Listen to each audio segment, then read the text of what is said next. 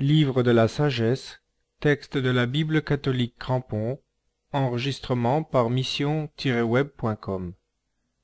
La traduction contenue dans cette édition de la Bible Crampon est faite sur la Bible grecque officiellement publiée sous le pape Sixte V, d'après le code Vaticanus en 1586. Chapitre 1 Aimez la justice, vous qui êtes les juges de la terre. Que vos pensées sur le Seigneur soient selon la droiture, et cherchez-le d'un cœur sincère. Car il se laisse trouver par ceux qui ne le tentent point, et il se manifeste à ceux qui se confient à lui. En effet, les pensées perverses séparent de Dieu, et sa puissance, quand on la met à l'épreuve, accuse les insensés. La sagesse n'entre pas dans une âme qui médite le mal, et n'habite pas dans un corps esclave du péché. L'Esprit Saint, éducateur des hommes, fuit l'astuce. Il s'éloigne des pensées dépourvues d'intelligence, et se retire quand approche l'iniquité. En effet, la sagesse est un esprit qui aime les hommes, et il ne laisse pas impuni le blasphémateur pour ses discours. Car Dieu est le témoin de ses reins, le véritable scrutateur de son cœur, et il entend ses paroles. Car l'Esprit du Seigneur remplit l'univers, et lui qui contient tout, sait tout ce qui se dit. Aussi celui qui tient des discours impies ne saurait rester caché, et la justice vengeresse ne l'oublie pas. Car il y aura une enquête sur les desseins de l'impie, la rumeur de ses paroles arrivera jusqu'au Seigneur, pour le châtiment de ses iniquités.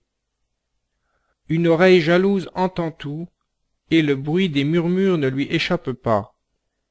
Gardez-vous donc des murmures inutiles, et préservez votre langue du blasphème, car la parole la plus secrète ne sort pas impunie, et la bouche qui ment donne la mort à l'âme. Ne courez pas après la mort par les égarements de votre vie, et n'attirez pas sur vous la perdition par les œuvres de vos mains car Dieu n'a pas fait la mort, et il n'éprouve pas de joie de la perte des vivants. Il a créé toutes choses pour la vie, les créatures du monde sont salutaires. Il n'y a en elles aucun principe de destruction, et la mort n'a pas d'empire sur la terre, car la justice est immortelle. Mais les impies appellent la mort du geste et de la voix, la regardant comme une amie, ils se passionnent pour elle, ils font alliance avec elle, et ils sont dignes, en effet, de lui appartenir. Chapitre 2 Ils se sont dit, raisonnant de travers. Il est court et triste le temps de notre vie, et, quand vient la fin d'un homme, il n'y a point de remède. On ne connaît personne qui délivre du séjour des morts. Le hasard nous a amenés à l'existence, et, après cette vie, nous serons comme si nous n'avions jamais été. Le souffle, dans nos narines, est une fumée, et la pensée, une étincelle qui jaillit du battement de notre cœur. Qu'elle s'éteigne, notre corps tombera en cendres, et l'esprit se dissipera comme l'air léger. Notre nom tombera dans l'oubli avec le temps, et personne ne se souviendra de nos œuvres. Notre vie passera comme une trace de nuée, elle se dissipera comme un brouillard que chassent les rayons du soleil et que la chaleur condense en pluie. Notre vie est le passage d'une ombre, sa fin est sans retour. Le sceau est apposé et nul ne revient. Venez donc, jouissons des biens présents, usons des créatures avec l'ardeur de la jeunesse. Enivrons-nous de vins précieux et de parfums, et ne laissons point passer la fleur du printemps couronnons-nous de boutons de rose avant qu'ils ne flétrissent.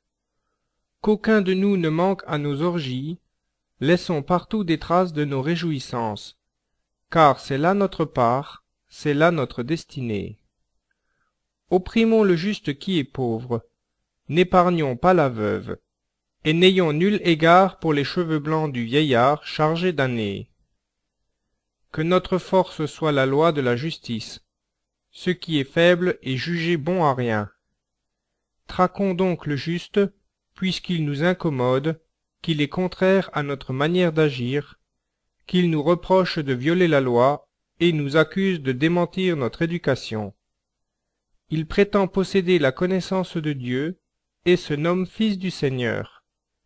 Il est pour nous la condamnation de nos pensées, sa seule vue nous est insupportable, car sa vie ne ressemble pas à celle des autres, et ses voies sont étranges.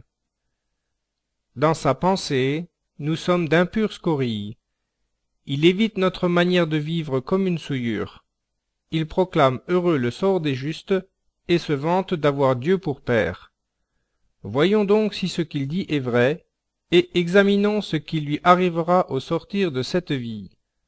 Car si le juste est fils de Dieu, Dieu prendra sa défense et le délivrera de la main de ses adversaires.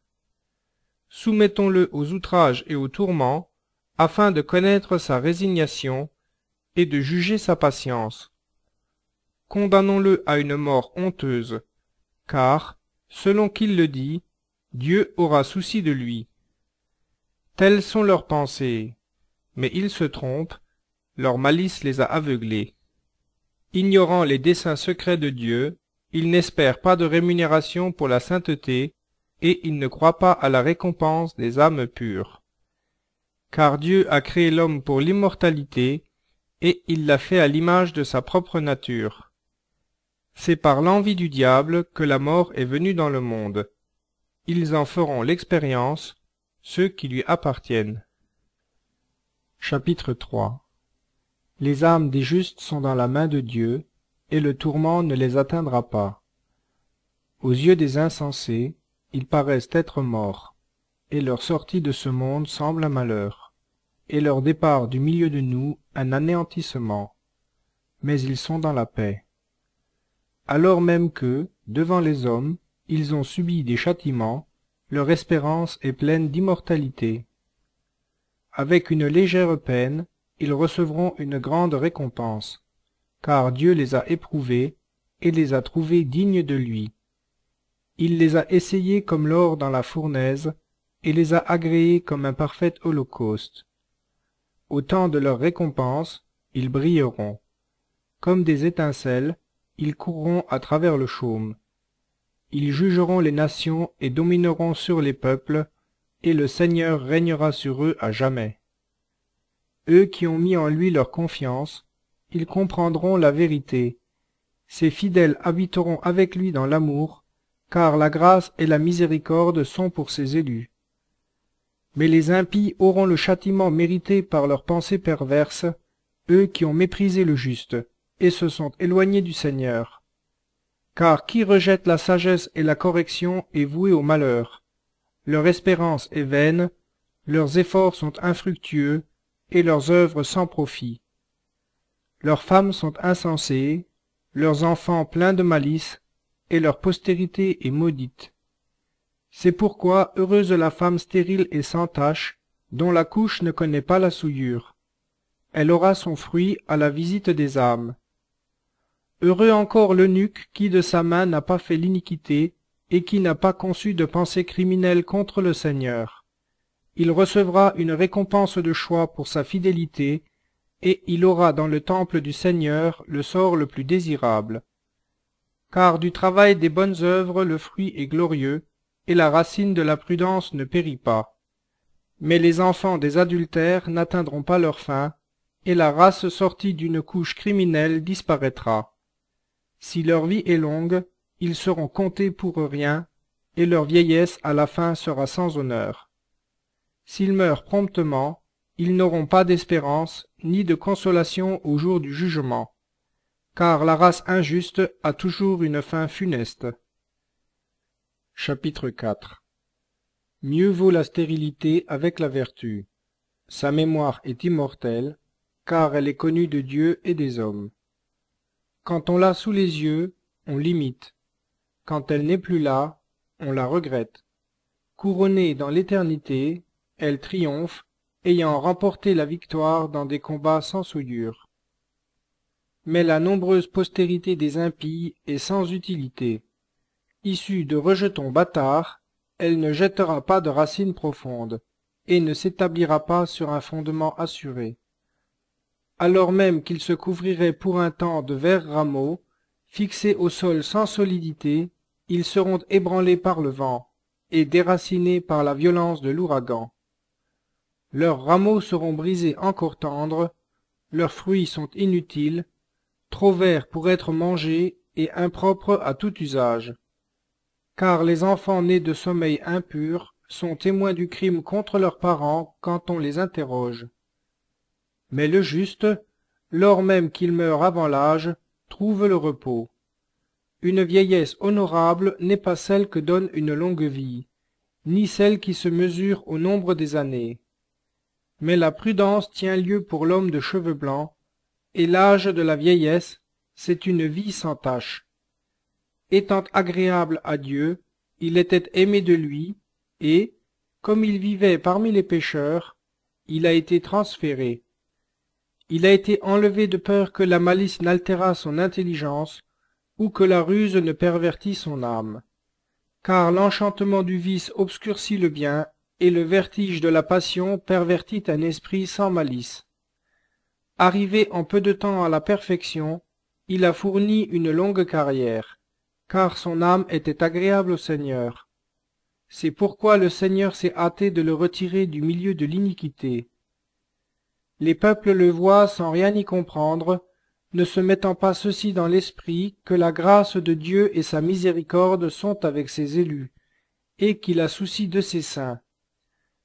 Mais le juste qui meurt condamne les impies qui survivent, et la jeunesse arrivée si vite à la perfection condamne la longue vieillesse de l'homme injuste. Ils verront la fin du sage, mais sans comprendre les desseins de Dieu sur lui, ni pourquoi le Seigneur l'a mis en sûreté. Ils verront et se moqueront, mais le Seigneur se rira d'eux. Et après cela ils seront un cadavre sans honneur. Ils seront parmi les morts dans l'opprobre pour toujours. Le Seigneur les brisera, et, réduits au silence, les précipitera. Il les ébranlera de leurs fondements, et ils seront détruits jusqu'au dernier. Ils seront dans la douleur, et leur mémoire périra ils viendront pleins d'effroi à la pensée de leurs péchés, et leurs crimes, se dressant devant eux, les accuseront.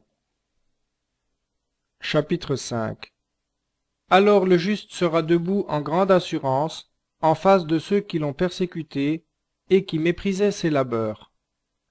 À cette vue, ils seront agités d'une horrible épouvante, ils seront dans la stupeur devant la révélation du salut ils se diront, pleins de regrets et gémissant dans le serrement de leur cœur. Voilà donc celui qui était autrefois l'objet de nos moqueries et le but de nos outrages. Insensé, nous regardions sa vie comme une folie et sa fin comme une opprobre. Comment est-il compté parmi les enfants de Dieu, et sa part est-elle parmi les saints? Nous avons donc erré loin du chemin de la vérité, la lumière de la justice n'a pas brillé sur nous, et sur nous ne s'est pas levé le soleil. Nous nous sommes rassasiés dans la voie de l'iniquité et de la perdition. Nous avons marché dans des déserts sans chemin, et nous n'avons pas connu la voie du Seigneur. À quoi nous a servi l'orgueil, et que nous a rapporté la richesse avec la jactance? Toutes ces choses ont passé comme l'ombre, comme une rumeur qui s'enfuit comme le navire qui fend l'onde agitée, sans qu'on puisse découvrir la trace de son passage, ou comme l'oiseau traversant les airs, sans qu'on relève aucun vestige de sa route. Mais il bat à coups de plume l'air léger, d'un puissant élan il le déchire, s'y fait un chemin en agitant ses ailes. Puis, on n'y voit aucun indice de son passage. Ou comme, lorsque la flèche a été lancée vers son but, L'air qu'elle a fendu revient aussitôt sur lui-même, et l'on ne sait plus par où elle a passé.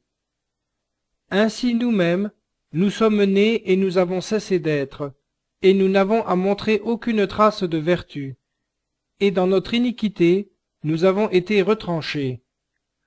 En effet, l'espoir de l'impie est comme le duvet que le vent emporte, comme le givre léger que disperse l'ouragan, comme la fumée qu'un souffle dissipe, comme le souvenir de l'hôte d'un jour qui s'évanouit. Mais les justes vivent éternellement, leur récompense est auprès du Seigneur, et le Tout-Puissant a souci d'eux. C'est pourquoi ils recevront de la main du Seigneur le magnifique royaume et le splendide diadème, car il les protégera de sa droite, de son bras il les couvrira comme d'un bouclier. Il saisira son zèle comme armure, et il armera la création pour se venger de ses ennemis. Il revêtira comme cuirasse la justice, et prendra pour casque un jugement sincère. Il prendra la sainteté comme un bouclier inexpugnable. De son inexorable colère il fera un glaive aigu, et l'univers combattra avec lui contre les insensés. Les traits de la foudre bien dirigés partiront, et, du sein des nuages, comme d'un arc bien tendu, voleront au but marqué. Sa colère, comme une baliste, lancera une masse de grêle. L'eau de la mer se soulèvera contre eux, et les fleuves se précipiteront avec furie. Le souffle de la puissance divine s'élèvera contre eux, et les dispersera comme un tourbillon. Et ainsi l'iniquité fera de toute la terre un désert, et la malice renversera les trônes des puissants. Chapitre 6 Écoutez donc, ô roi, et comprenez. Écoutez l'instruction, vous qui jugez les extrémités de la terre. Prêtez l'oreille, vous qui dominez sur la multitude, qui êtes fiers de commander à des foules de peuples. Sachez que la force vous a été donnée par le Seigneur, et la puissance par le Très-Haut, qui examinera vos œuvres et sondera vos pensées. Parce que, étant les ministres de sa royauté, vous n'avez pas jugé avec droiture, ni observé la loi, ni marcher selon la volonté de Dieu. Terrible et soudain, il fondra sur vous, car un jugement sévère s'exerce sur ceux qui commandent. Aux petits, on pardonne par pitié, mais les puissants sont puissamment châtiés. Le souverain de tous ne reculera devant personne. Il ne s'arrêtera par respect devant aucune grandeur, car il a fait les grands et les petits, et il prend soin des uns comme des autres. Mais les puissants seront soumis à une épreuve plus rigoureuse. C'est donc à vous, ô roi, que s'adressent mes discours, afin que vous appreniez la sagesse et que vous ne tombiez point. Ceux qui observent saintement les saintes lois seront sanctifiés, et ceux qui les auront apprises auront de quoi répondre. Mettez donc vos complaisances dans mes paroles, désirez-les et vous aurez l'instruction. La sagesse est brillante, et son éclat ne ternit pas. Facilement on l'aperçoit quand on l'aime, facilement on la trouve quand on la cherche. Elle prévient ceux qui la cherchent, et se montre à eux la première. Celui qui se lève matin pour la chercher n'a pas de peine, il la trouve assise à sa porte. Car penser à elle, c'est la perfection de la prudence et celui qui veille à cause d'elle sera bientôt libre de soucis. Elle-même va de tous côtés chercher ceux qui sont dignes d'elle, elle se montre amicalement à eux dans leurs voies, et les assiste dans tous leurs desseins. En effet, son commencement le plus assuré est le désir de l'instruction. Or le soin de l'instruction conduit à l'amour, l'amour fait qu'on obéit à ses lois, l'obéissance à ses lois assure l'immortalité, et l'immortalité donne une place près de Dieu. Ainsi le désir de la sagesse conduit à la royauté. Si donc, ô roi des peuples, vous mettez votre plaisir dans les trônes et le sceptre, honorez la sagesse, afin de régner éternellement. Mais ce qu'est la sagesse et son origine, je vais l'exposer, sans vous cacher les mystères de Dieu. Je remonterai jusqu'au début de la création, je mettrai au grand jour ce qui la concerne, et je ne m'écarterai pas de la vérité. Loin de moi de faire route avec l'envie dévorante, elle n'a rien de commun avec la sagesse. Le grand nombre des sages fait le salut de la terre, et un roi sage la prospérité de son peuple. Recevez donc l'instruction par mes paroles, et vous vous en trouverez bien. Chapitre 7 je suis moi-même un mortel, semblable à tous et descendant du premier qui fut formé de terre. J'ai été formé quant à la chair dans le sein de ma mère, pendant dix mois prenant consistance dans le sang, par la semence de l'homme, durant le repos du sommeil.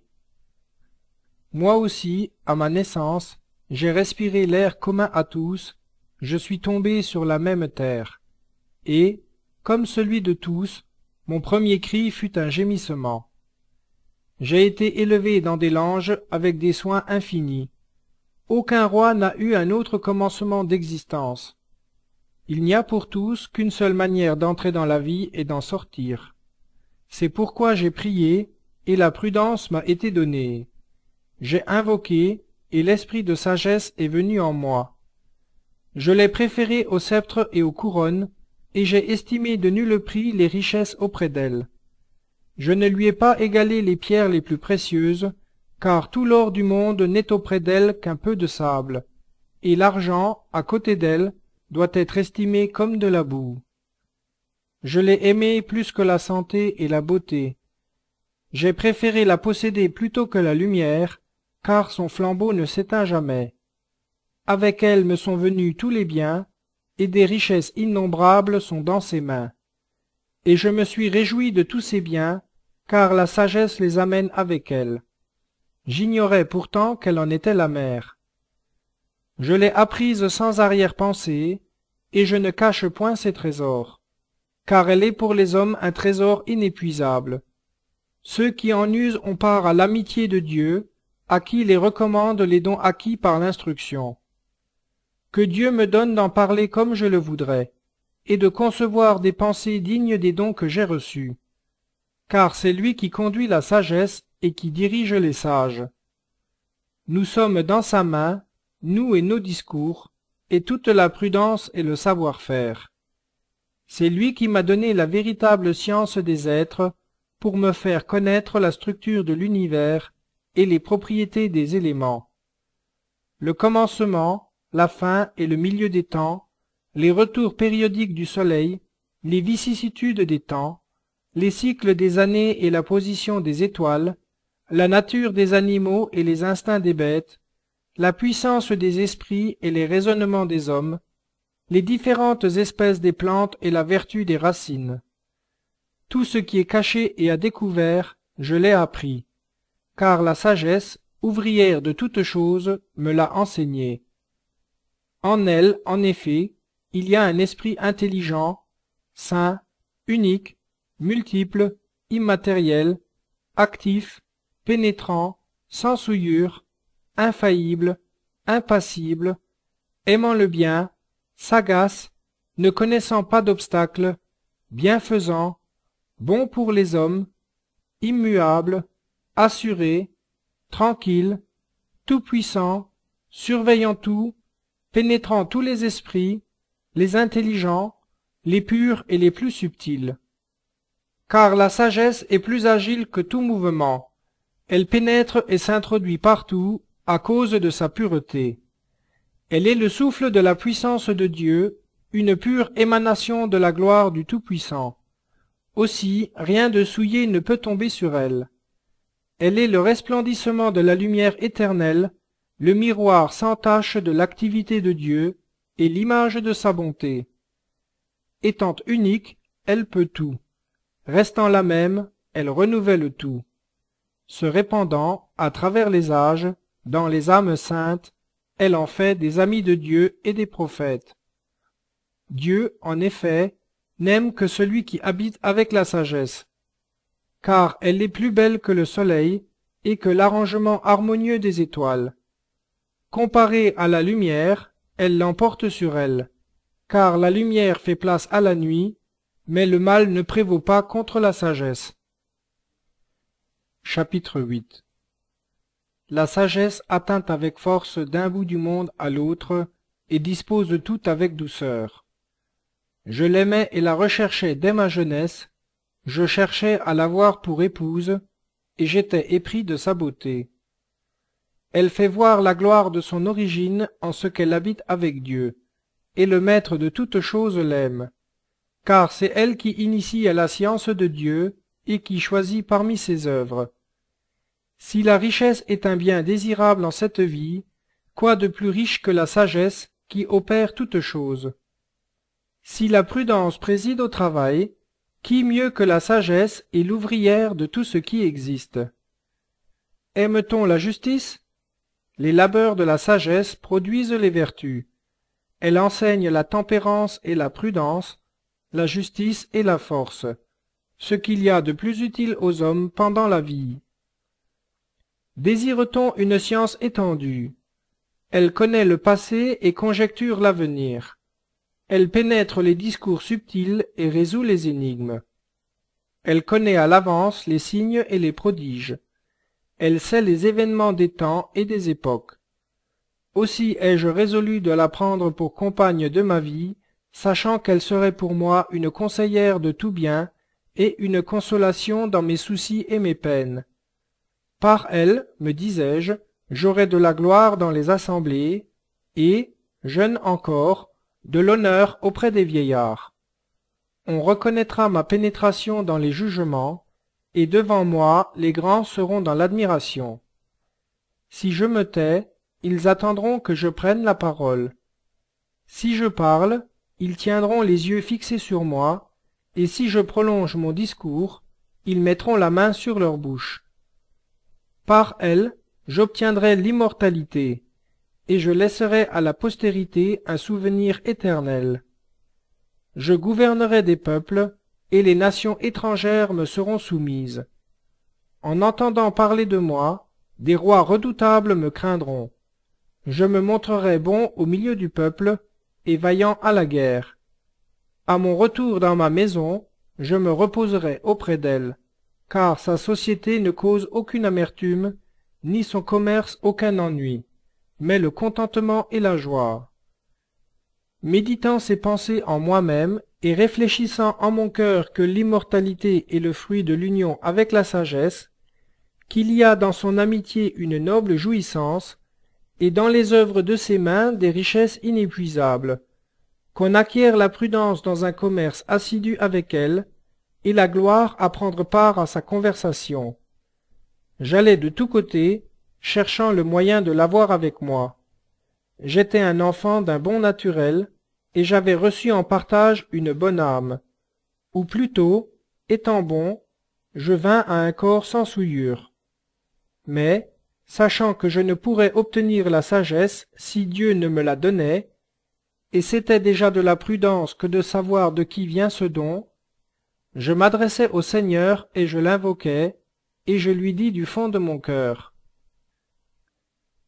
Chapitre 9 Dieu des Pères, Seigneur de miséricorde, qui avez fait l'univers par votre parole, et qui, par votre sagesse, avez établi l'homme pour dominer sur toutes les créatures que vous avez faites, pour régir le monde dans la sainteté et la justice, et exercer l'empire dans la droiture du cœur, Donnez-moi la sagesse qui est assise près de votre trône, et ne me rejetez pas du nombre de vos enfants. Car je suis votre serviteur et le fils de votre servante, un homme faible, à la vie courte, et peu capable de comprendre le jugement et les lois. Quelqu'un serait-il parfait parmi les enfants des hommes? S'il manque de la sagesse qui vient de vous, il sera compté pour rien. Vous m'avez choisi pour régner sur votre peuple, et jugez vos fils et vos filles.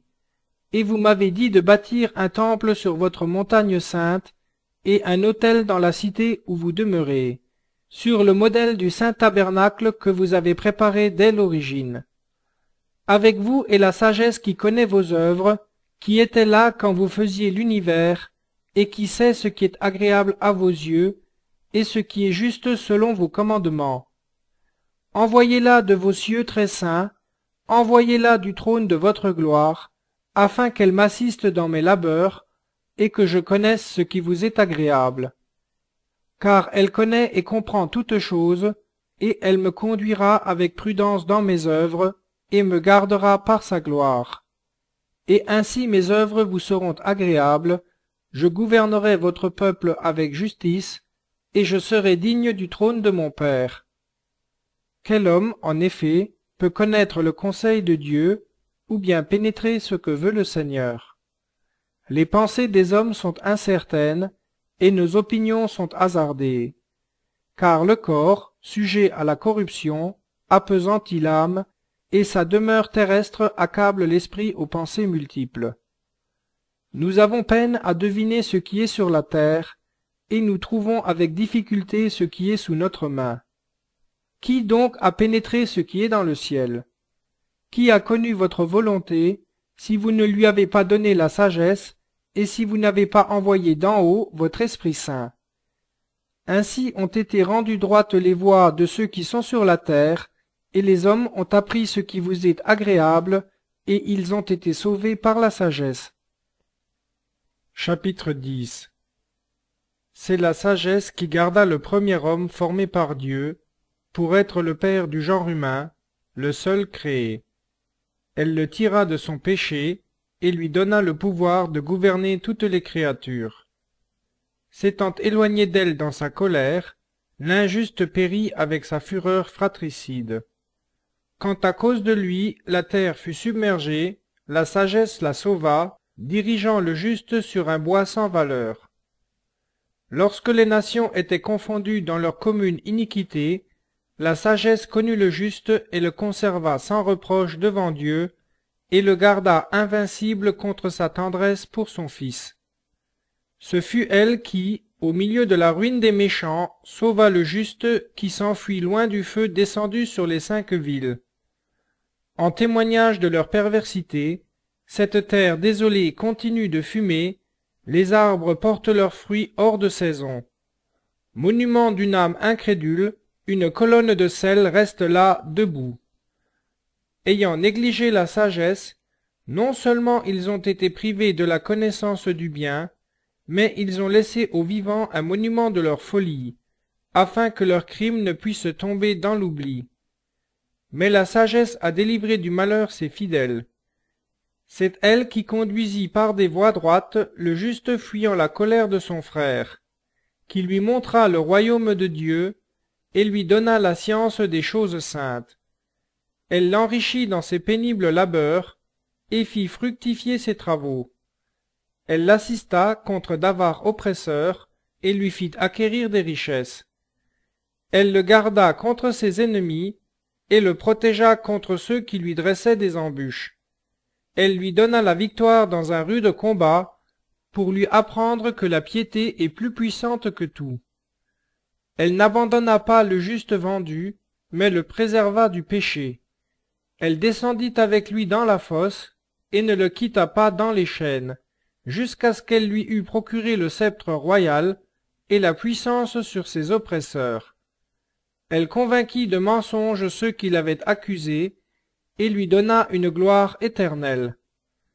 Elle délivra des nations qui l'opprimaient, le peuple saint et la race sans reproche. Elle entra dans l'âme du serviteur de Dieu, et, par des signes et des prodiges, elle tint tête à des rois redoutables. Elle rendit aux saints le salaire de leurs travaux, elle les conduisit par une route semée de merveilles, et fut pour eux un ombrage pendant le jour, et comme la lumière des étoiles pendant la nuit.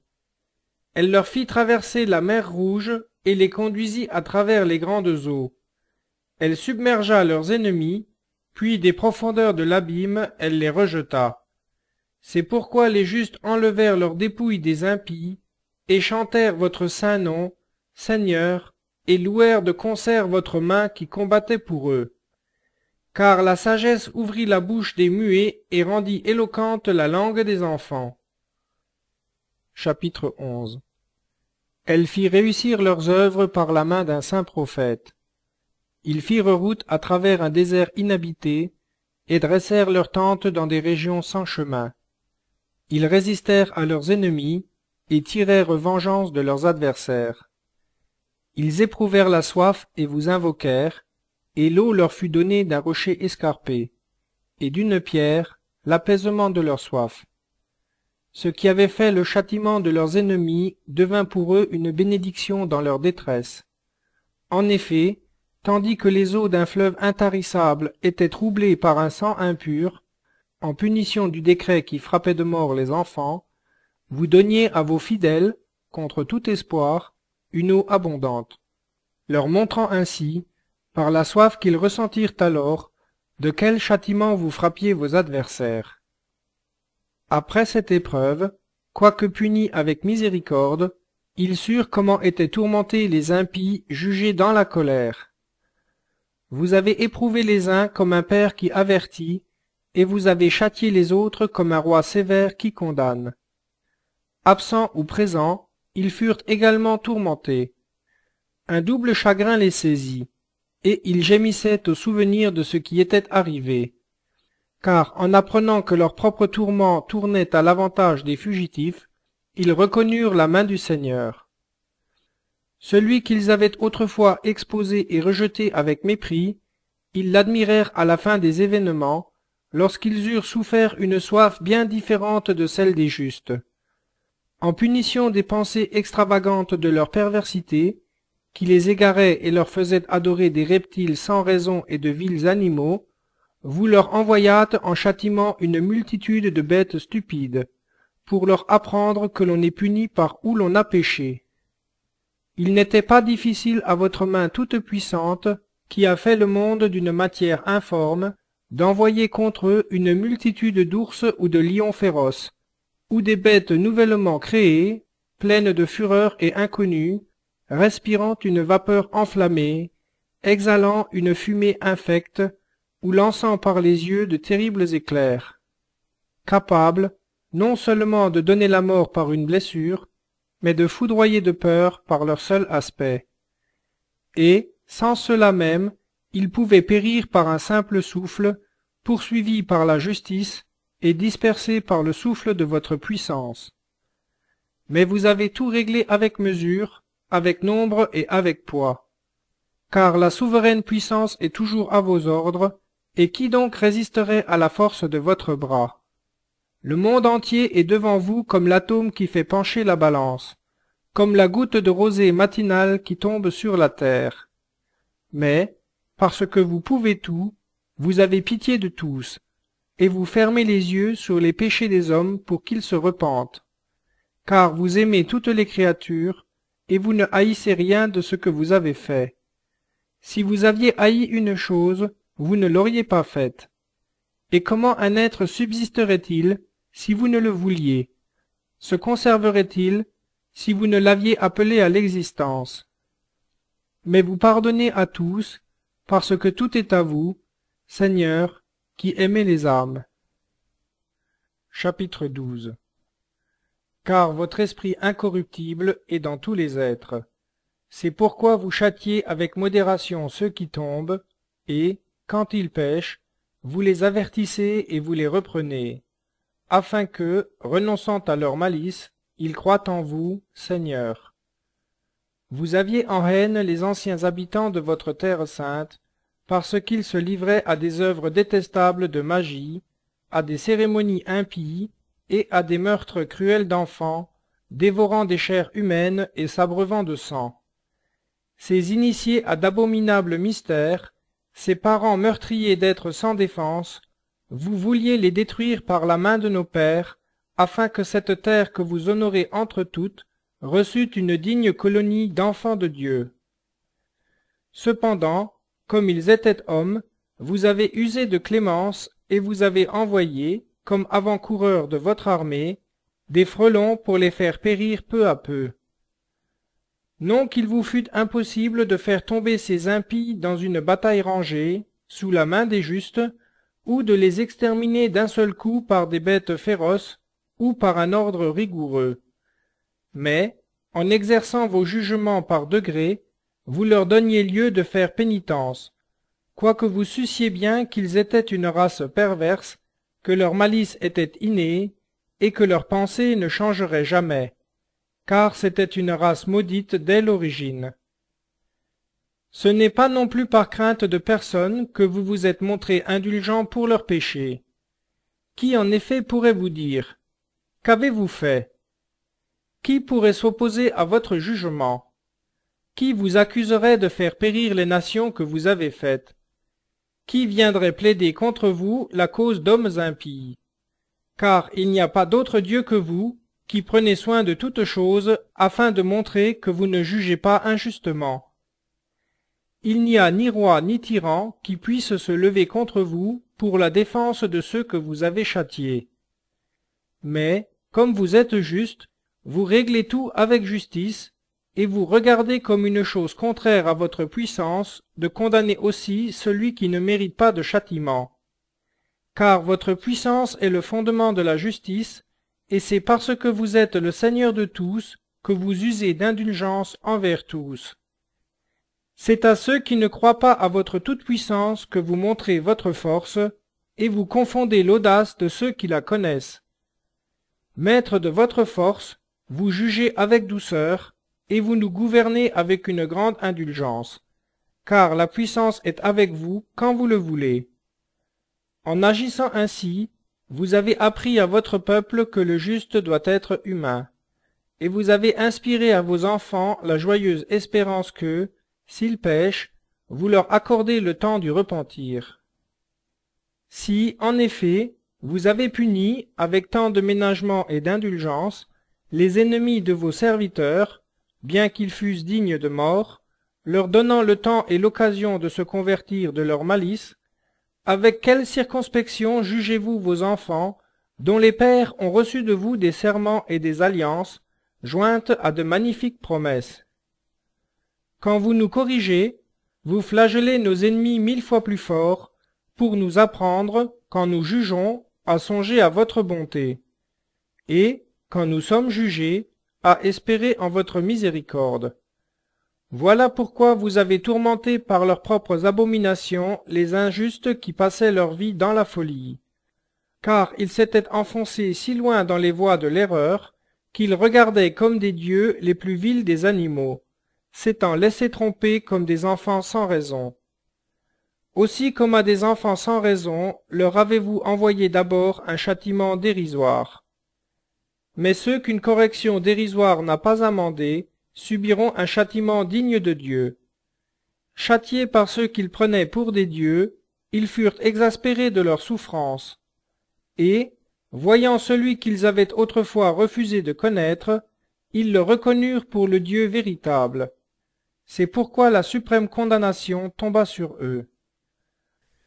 Chapitre 13 Insensés par nature, tous les hommes qui ont ignoré Dieu, et qui n'ont pas su, par les biens visibles, voir celui qui est, ni, par la considération de ses œuvres, reconnaître l'ouvrier. Mais ils ont regardé le feu, le vent, l'air mobile, le cercle des étoiles, l'eau impétueuse, les flambeaux du ciel, comme des dieux gouvernant l'univers. Si, charmés de leur beauté, ils ont pris ces créatures pour des dieux, qu'ils sachent combien le Maître l'emporte sur elles, car c'est l'auteur même de la beauté qui les a faites. Et s'ils en admiraient la puissance et les effets, qu'ils en concluent combien est plus puissant celui qui les a faites, car la grandeur et la beauté des créatures font connaître par analogie celui qui en est le Créateur. Ceux-ci pourtant encourent un moindre reproche, car ils s'égarent peut-être en cherchant Dieu et en voulant le trouver. Occupés de ces œuvres, ils en font l'objet de leurs recherches et s'en rapportent à l'apparence, tant ce qu'ils voient est beau. D'autre part, ils ne sont pas non plus excusables, car, S'ils ont acquis assez de science pour arriver à connaître le monde, comment n'en ont-ils pas connu plus facilement le Maître? Mais ils sont bien malheureux, et ils mettent leur espérance en des objets sans vie, ceux qui ont appelé Dieu des ouvrages de la main des hommes, de l'or et de l'argent travaillés avec art, des figures d'animaux ou une pierre inutile, ouvrage d'une main antique. Voici qu'un artisan a coupé un arbre facile à travailler. Il en ôte adroitement toute l'écorce, et, le façonnant avec habileté, il en fabrique un meuble utile pour l'usage de la vie. Son travail achevé, il emploie ce qui reste à faire cuire ses aliments et satisfait sa faim. Quant aux derniers débris, qui ne sont plus d'aucun usage, au bois tordu et plein de nœuds, il le prend, le taille pour occuper ses loisirs, et, par un travail habile, lui donne une figure. il le fait ressembler à un homme. Ou bien il en fait l'image de quelque vil animal, le peint de vermillon, en recouvre la surface d'une couleur rouge, et fait disparaître sous un enduit toutes les taches. Puis, lui ayant disposé une habitation convenable, il le place contre la muraille et le fixe avec du fer. Il prend bien garde qu'il ne tombe, sachant que le Dieu ne peut s'aider lui-même, car ce n'est qu'une statue qui a besoin d'appui.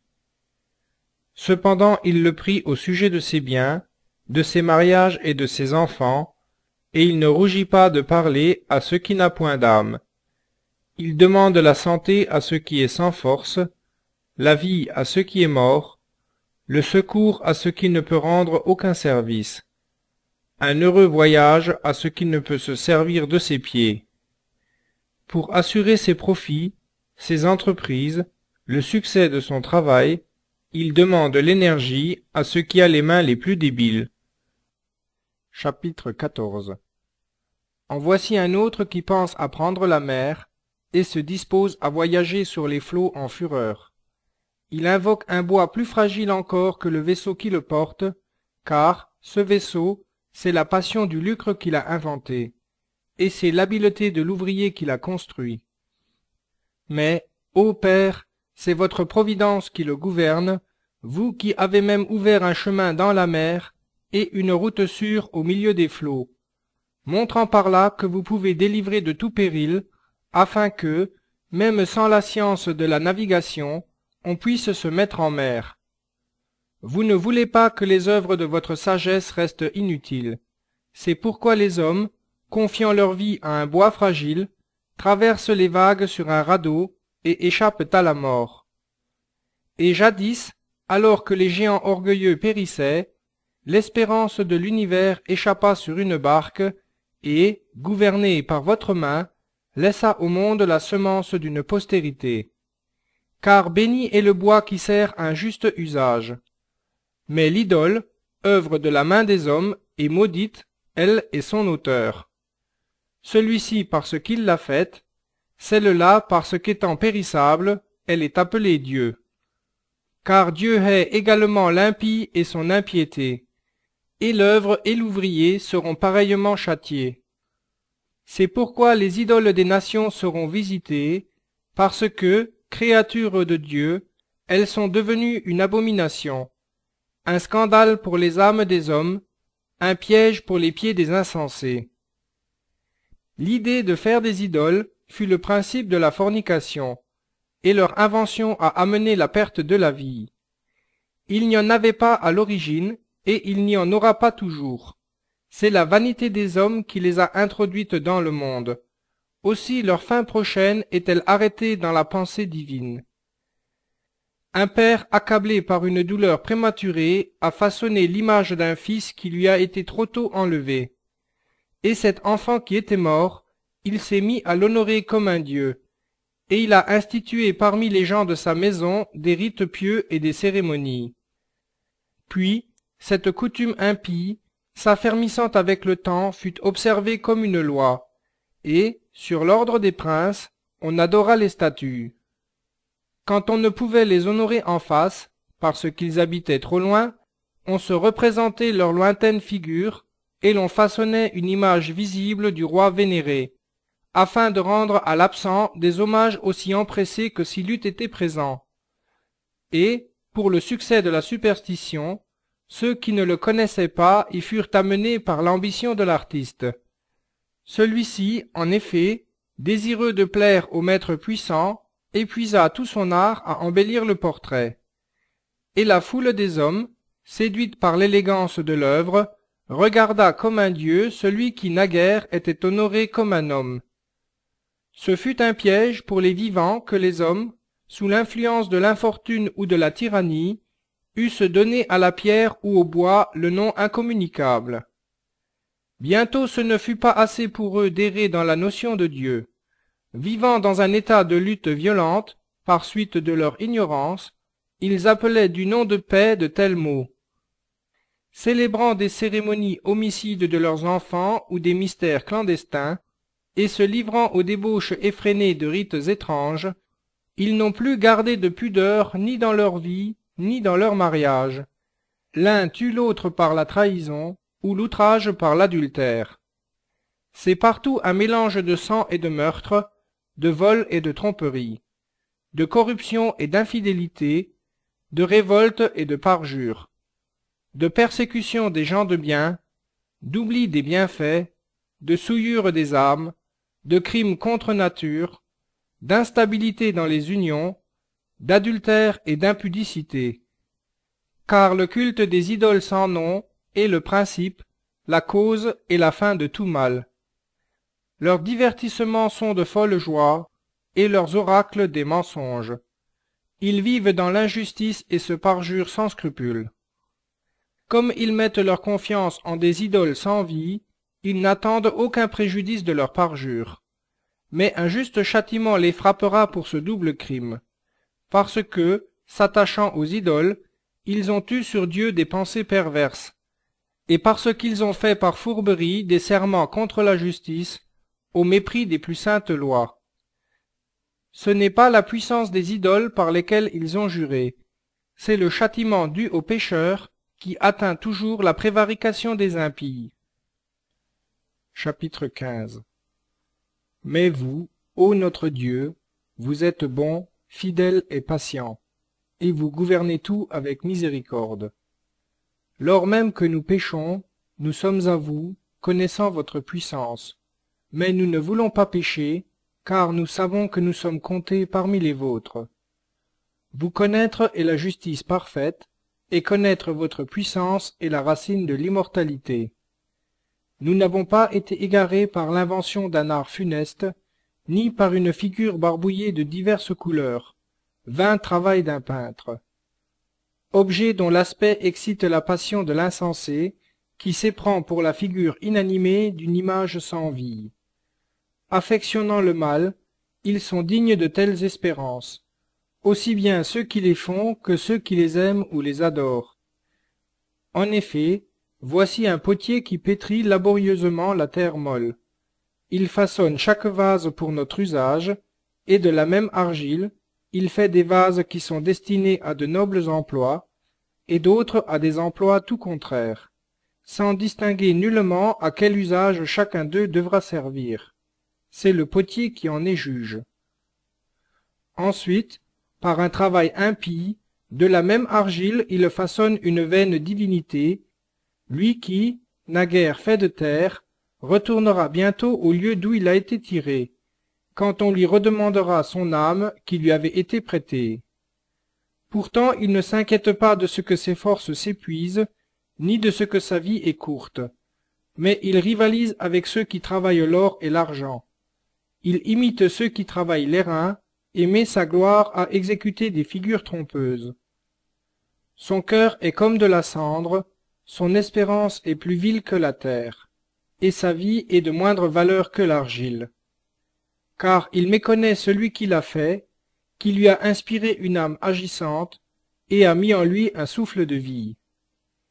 Il regarde notre existence comme un amusement, la vie comme un marché où l'on se rassemble pour le gain, car, disent-ils, il faut acquérir par tous les moyens, même le crime. Car celui-là sait bien qu'il est plus coupable que tous les autres, qui, de la même terre, façonnent des vases fragiles et des idoles. Mais ils sont tous très insensés, et plus malheureux que l'âme d'un enfant, les ennemis de votre peuple qui le tiennent dans l'oppression.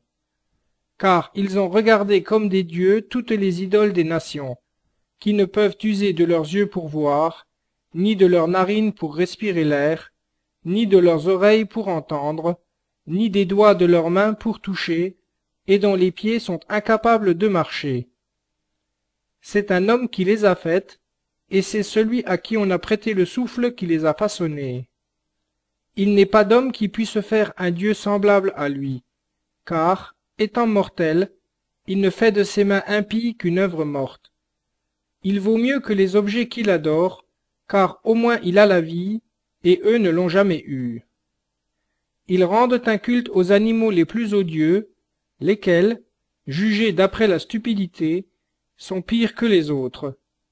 Il n'y a rien de bon en eux qui fasse naître l'affection, comme à l'aspect d'autres animaux. Ils échappent à la louange de Dieu et à sa bénédiction. Chapitre 16 C'est pourquoi ils ont été justement châtiés par des créatures semblables et tourmentés par une multitude de bêtes. À la place de ces fléaux, vous avez accordé des bienfaits à votre peuple, et, pour satisfaire son ardent désir, vous lui avez préparé un aliment merveilleux, des cailles en nourriture, de sorte que les uns, malgré leur désir de manger, à l'aspect répugnant des insectes envoyés contre eux, prirent en aversion même leur appétit naturel, tandis que les autres, après une légère privation, goûtèrent une nourriture nouvelle. Car il fallait qu'une disette inévitable affligeât les premiers, les oppresseurs, et qu'il fût seulement montré aux autres comment leurs ennemis étaient tourmentés. En effet, lorsque ceux-ci souffraient de la fureur de bêtes cruelles, et qu'ils périssaient sous la morsure de serpents tortueux, votre colère ne dura pas jusqu'à la fin. Ils furent troublés un moment, en vue de leur correction, et ils eurent un signe de salut, pour leur rappeler les préceptes de votre loi. Car celui qui se tournait de son côté était guéri, non par l'objet qu'il avait sous les yeux, mais par vous, qui êtes le sauveur de tous. Mais par là, vous avez aussi appris à nos ennemis que c'est vous qui délivrez de tout mal. En effet, la morsure des sauterelles et des moucherons les fit périr, et il ne se trouva aucun moyen de sauver leur vie, parce qu'ils méritaient d'être châtiés de la sorte. Vos enfants ne furent pas vaincus par la dent des serpents venimeux, car votre miséricorde vint à leur secours et les guérit. C'est pour que vos paroles leur revinssent en mémoire qu'ils étaient blessés et promptement guéris, de peur que, venant à les oublier entièrement, ils ne fussent exclus de vos bienfaits. Ce ne fut ni une herbe, ni un médicament qui les guérit, mais votre parole, Seigneur, qui guérit tout. Car vous avez puissance sur la vie et sur la mort. Vous menez aux portes du séjour des morts et vous en ramenez. L'homme, dans sa méchanceté, peut bien donner la mort, mais non ramener l'esprit une fois sorti, ni délivrer l'âme que le shéol a reçue. Mais il est impossible d'échapper à votre main. Les impies qui prétendaient ne pas vous connaître ont été flagellés par la force de votre bras. Des eaux extraordinaires, la grêle et des pluies inexorables les ont tourmentés, et le feu les a consumés. Ce qui était le plus étrange, c'est que, dans l'eau qui éteint tout, le feu n'était que plus ardent, car l'univers combat pour les justes. Tantôt la flamme s'adoucissait, afin que les animaux envoyés contre les impies ne fussent pas consumés, et que ceux-ci, à cette vue, reconnussent qu'un jugement de Dieu les poursuivait. Tantôt elle brûlait au sein même de l'eau, avec plus de force que n'en comporte la nature du feu, afin de détruire tous les produits d'une nation impie. Au lieu de cela, vous avez rassasié votre peuple de la nourriture des anges, et vous leur avez donné du ciel, sans travail, un pain tout préparé, procurant toute puissance et approprié à tous les goûts. Cette substance, envoyée par vous, montrait la douceur que vous avez envers vos enfants, et ce pain, s'accommodant au désir de celui qui le mangeait, se changeait en ce qu'il voulait. La neige et la glace soutenaient la violence du feu sans se fondre, afin qu'ils sussent que le feu, qui brûlait dans la grêle et étincelait dans la pluie, détruisait les récoltes de leurs ennemis, et qu'il oubliait ensuite sa vertu propre pour l'entretien des justes. Car la créature, soumise à vous, son Créateur, déploie son énergie pour tourmenter les méchants, et se relâche pour procurer le bien de ceux qui se confient en vous. C'est pourquoi, se pliant alors à tous ces changements, elle était aux ordres de votre grâce, qui nourrit tout, selon la volonté de ceux qui étaient dans le besoin, afin que vos enfants que vous aimez, Seigneur, apprissent que ce ne sont pas les différentes espèces de fruits qui nourrissent les hommes, mais que c'est votre parole qui conserve ceux qui croient en vous car ce qui résistait à l'action destructive du feu se fondait aisément, échauffé par le moindre rayon de soleil. Afin d'apprendre à tous qu'il faut devancer le soleil pour vous rendre grâce, et vous adorer dès le lever du jour. Quant à l'ingrat, son espérance fondra comme la glace d'hiver, et s'écoulera comme une eau inutile. Chapitre 17 Car vos jugements sont grands et difficiles à expliquer. Aussi les âmes sans instruction se sont-elles égarées. Alors que les méchants s'étaient persuadés qu'ils pouvaient opprimer la nation sainte, enchaînés par les ténèbres et prisonniers d'une longue nuit, enfermés sous leur toit, ils gisaient là, fuyant eux-mêmes votre incessante providence.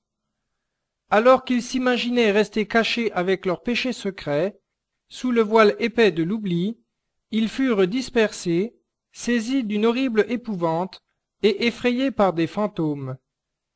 Les réduits où ils se renfermaient ne les préservaient pas de la crainte. Des bruits effrayants retentissaient autour d'eux, et des spectres leur apparaissaient avec des visages lugubres. Il n'y avait pas de feu capable de donner de la lumière, et les flammes brillantes des astres ne pouvaient éclairer cette horrible nuit. Parfois seulement leur apparaissait une masse de feu, allumée d'elle-même, effrayante, et, épouvantés de cette vision dont ils n'apercevaient pas la cause, ils jugeaient ces apparitions plus terribles encore. L'art dérisoire des magiciens était à bout, et leur prétention à la sagesse honteusement convaincue de fausseté. Eux qui se faisaient fort de chasser des âmes malades la terreur et le trouble, ils étaient malades eux-mêmes d'une peur ridicule. Car, quoiqu'il n'y eût rien de terrible pour les effrayer, le passage des animaux et le sifflement des serpents les terrifiaient. Et ils mouraient de frayeur, se refusant à voir cet air auquel nul ne peut échapper, car la perversité est craintive, condamnée qu'elle est par son propre témoignage. Pressée par sa conscience, elle s'exagère toujours le mal. La crainte, en effet, n'est pas autre chose que l'abandon des secours qu'apporterait la réflexion. L'espérance étant moindre au fond du cœur, on s'effraie d'autant plus d'ignorer la cause de ces tourments. Eux, pendant cette nuit d'impuissance, sortis des profondeurs du shéol impuissant, endormis du même sommeil, étaient tantôt agités par des spectres terrifiants, tantôt abattus par la défaillance de leur âme. Car une épouvante subite et inattendue s'était répandue sur eux. De même tous les autres, quels qu'ils fussent, tombant là sans force, étaient retenus comme enfermés dans une prison sans verrou. Le laboureur, le berger, L'ouvrier occupé aux rudes travaux de la campagne, surpris par le fléau, était soumis à l'inévitable nécessité, car tous étaient liés par la même chaîne de ténèbres. Le vent qui sifflait, le chant mélodieux des oiseaux dans les rameaux épais, le bruit des eaux précipitant leur cours, le fracas des pierres qui roulaient, la course invisible des animaux bondissants, les hurlements des bêtes féroces, l'écho se répercutant dans les cavités des montagnes, tout les faisait pâmer d'effroi. Car tandis que tout l'univers était éclairé d'une lumière brillante et se livrait sans obstacle à ses travaux, sur eux seuls s'étendait une nuit pesante, image des ténèbres qui devaient les recevoir. Mais ils étaient encore plus à charge à eux-mêmes que les ténèbres. Chapitre 18 Cependant une grande lumière brillait pour vos saints. Les Égyptiens entendaient leur voix sans voir leur visage, et, malgré leurs souffrances passées, les proclamaient heureux. Et parce que, après avoir été maltraités, ils ne se vengeaient pas, ils leur rendaient grâce et leur demandaient pardon de les avoir traités en ennemis. À la place de ces ténèbres, vous avez donné à vos saints une colonne de feu, guide dans une route inconnue, soleil inoffensif pour leur glorieux pèlerinage. Ils méritaient bien d'être privés de lumière et d'être emprisonnés dans les ténèbres, ceux qui tenaient enfermés vos enfants, par qui la lumière incorruptible de votre loi devait être donnée au monde. Ils avaient résolu de faire périr les enfants des saints, et, l'un de ces derniers ayant été exposé et délivré, vous leur avez, pour leur châtiment, enlevé la multitude de leurs fils, et vous les avez engloutis tous ensemble dans les flots impétueux. Cette nuit avait été connue d'avance par nos pères, afin que, sachant bien à quelle promesse ils avaient cru, ils eussent meilleur courage. Et ainsi votre peuple attendit la délivrance des justes et l'extermination de ses ennemis. De même que vous avez châtié nos adversaires, du même coup vous nous avez glorifiés en nous appelant à vous. En effet, les pieux enfants des saints offraient leurs sacrifices en secret, et faisaient d'un commun accord ce pacte divin, que les saints participeraient au même bien et au même danger, chantant d'avance les hymnes de leur Père. Pour leur faire écho, retentissaient les cris discordants des ennemis, et l'on entendait des lamentations sur les enfants qu'on pleurait. L'esclave et le maître étaient punis de la même peine, et l'homme du peuple souffrait la même chose que le roi. Ils avaient tous pareillement, dans un seul genre de mort, des morts sans nombre, et les vivants ne suffisaient pas aux funérailles, car leurs plus nobles rejetons avaient été exterminés en un instant. Ils avaient refusé de croire à cause de leur sortilège. Quand arriva l'extermination des premiers-nés, ils reconnurent que ce peuple était fils de Dieu. Pendant qu'un profond silence enveloppait tout le pays, et que la nuit était arrivée au milieu de sa course rapide, votre parole toute puissante s'élança du haut du ciel, de son trône royal, comme un guerrier impitoyable au milieu d'une terre vouée à l'extermination, portant comme un glaive aigu votre irrévocable décret. Elle était là, remplissant tout de mort. Elle touchait au ciel et se tenait sur la terre. Aussitôt, des visions de songes effrayants les troublèrent, et des terreurs inattendues tombèrent sur eux. Jetés par terre çà et là à demi-mort, ils révélaient la cause pour laquelle ils mouraient, car les songes qui les troublaient là leur avaient révélé afin qu'ils ne mourussent pas sans savoir pourquoi ils étaient si rudement frappés. L'épreuve de la mort atteignit aussi les justes, et il y eut dans le désert une destruction de la multitude. Mais votre colère ne dura pas longtemps. Car un homme sans reproche se hâta de combattre pour les coupables. Prenant les armes de son ministère, la prière et l'encens expiatoire, il résista à la colère divine et mit un terme au fléau, montrant qu'il était votre serviteur. Il vint à bout de cette sédition, non par la force corporelle, ni par la puissance des armes, mais il dompta par la parole celui qui les châtiait, en rappelant les serments faits au Père et les alliances. Lorsque déjà les morts étaient tombés en tas les uns sur les autres, s'interposant, il arrêta la colère et ferma à l'exterminateur le chemin des survivants. Car sur la robe qui tombait jusqu'à terre était tout l'univers. Les noms glorieux des pères étaient gravés sur les quatre rangées de pierres précieuses, et votre majesté sur le diadème de sa tête. Devant ces symboles, l'exterminateur se retira, il en fut effrayé, car la seule expérience de votre colère était suffisante. Chapitre 19 Mais une colère sans miséricorde poursuit les impies jusqu'à la fin, car Dieu savait d'avance quelle serait leur conduite, qu'après avoir permis aux justes de s'en aller, et pressé leur départ avec grande instance, ils en auraient du regret et se mettraient à leur poursuite.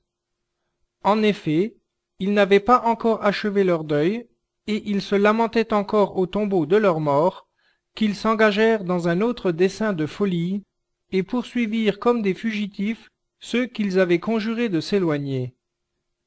Une juste nécessité les entraînait à cette fin, et leur faisait oublier ce qui venait de leur arriver, afin qu'ils subissent dans la pleine mesure le châtiment, et que, tandis que votre peuple bénéficiait d'un glorieux passage, ils trouvassent une mort étrange car la création tout entière fut transformée dans sa nature, obéissant au commandement particulier qui lui était donné, afin que vos enfants fussent conservés à l'abri de tout mal.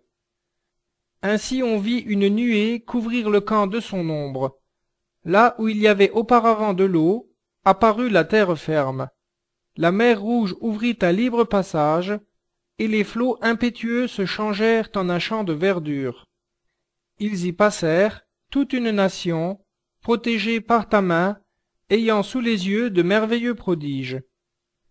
Comme des chevaux en pâturage, comme des agneaux bondissants, ils vous glorifiaient, Seigneur, vous, leur libérateur. Car ils se rappelaient encore ce qui s'était passé en leur séjour au pays étranger. Comment, à la place des autres animaux, la terre avait produit des moustiques, et le fleuve, au lieu de poissons, une multitude de grenouilles. Plus tard, ils virent encore une étrange production d'oiseaux, lorsque, poussés par la convoitise, ils demandèrent une nourriture délicate. Pour les satisfaire, des cailles montèrent du côté de la mer. Mais le châtiment tomba sur les pêcheurs, non sans être signalé d'avance par de violents éclairs. Ils souffrirent justement pour leurs crimes, car ils avaient montré pour l'étranger la haine la plus odieuse. D'autres n'avaient pas voulu recevoir des gens qui ne les connaissaient pas. Ceux-là avaient réduit en esclavage des étrangers qui leur avaient fait du bien. Il y a plus. Car voici une autre considération en faveur des premiers. C'est en ennemis qu'ils recevaient ces étrangers. Ceux-là, au contraire, accueillirent votre peuple avec des fêtes, et, après l'avoir admis à la jouissance de leurs droits, l'accablèrent de cruelles souffrances. Aussi furent-ils frappés d'aveuglement comme ceux qui assiégeaient la porte du juste, lorsque, enveloppés de ténèbres profondes, ils cherchaient chacun l'entrée de la porte. Car les éléments échangeaient leurs propriétés, comme dans le psalterion les sons changent de rythme, tout en conservant le même ton. C'est ce qu'on peut voir clairement par les faits qui se sont passés.